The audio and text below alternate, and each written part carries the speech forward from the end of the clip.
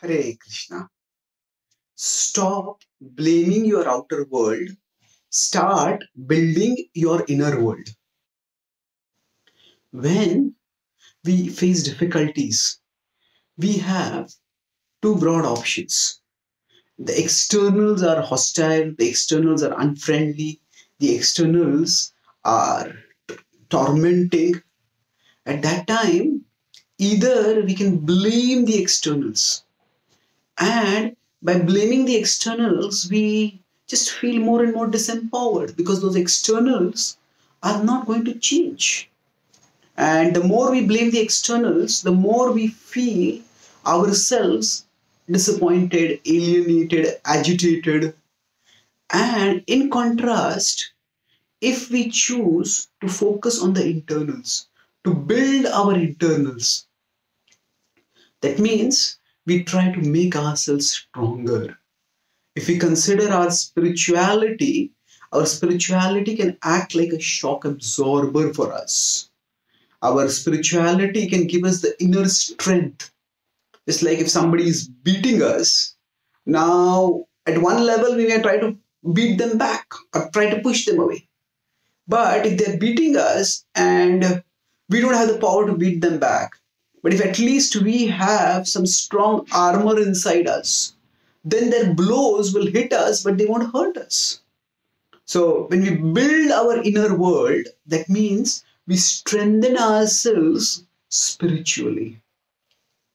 And by us, by thus, by such strength, although the blows from the outer world may still hit us, they won't hurt us that much. And how do we build our inner world?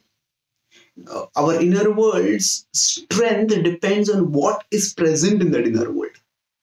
If small things are present there, if attachment to worldly things, if uh, desires for worldly things, if these things are present over there, then naturally we will feel disheartened.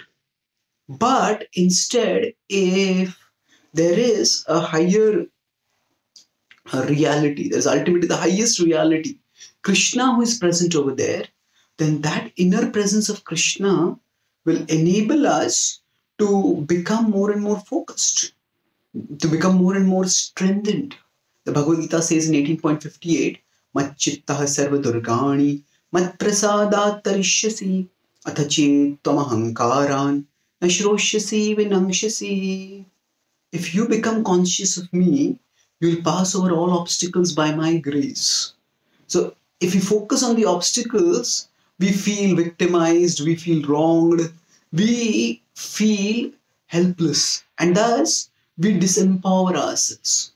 But in contrast, if we focus on Krishna, we focus on invoking His presence within our own consciousness, we focus on trying to connect with Him internally through remembrance and service attitude, then we will find that that remembrance will give us strength and as our inner world builds, that means we get uh, the inner shock absorber, the inner armor within us, then the blows of the world won't hit us so much.